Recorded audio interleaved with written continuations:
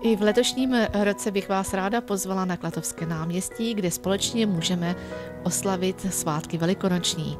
1. dubna zde od 13 do 16 hodin postupně vystoupí žáci a zpěváčci základních a mateřských škol v Klatovech.